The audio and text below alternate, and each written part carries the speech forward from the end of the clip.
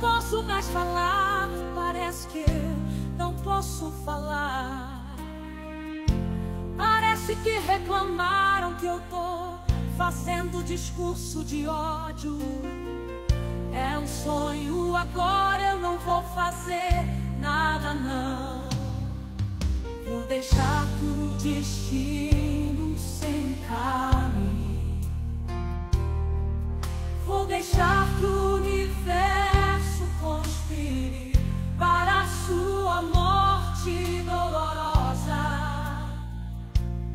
sofrida, né? A única coisa que eu vou fazer é uns trabalhos que eu vou fazer.